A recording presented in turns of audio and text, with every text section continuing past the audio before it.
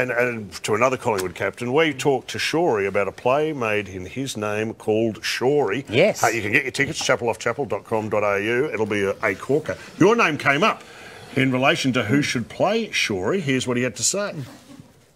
Sam Pang would be brilliant. We'd take a backward step in the looks department. Um, he'd need platform shoes to get up to my height. And, and to act, you don't really need a lot of football ability, which you never had. So.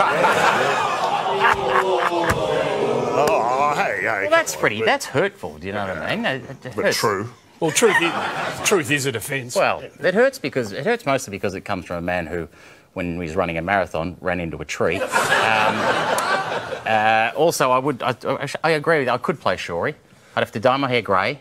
I'd have to break my nose in five places, and I'd have to have a lobotomy. But other than that, other than that, that's all I've got to say. Other than the fact that's classic Shorey, by the way. I'm not here, and he decides to attack me. Yeah, I mean, it's, for anyone who saw him play, that's exactly how he played. Well, he's here now, so make him welcome. He's a coward. He was frightened when he played, terrified. Anyway, that sounds like a good play. So that'll. I hope the playwright has put, a, put aside three minutes for his uh, coaching career. That'll be good.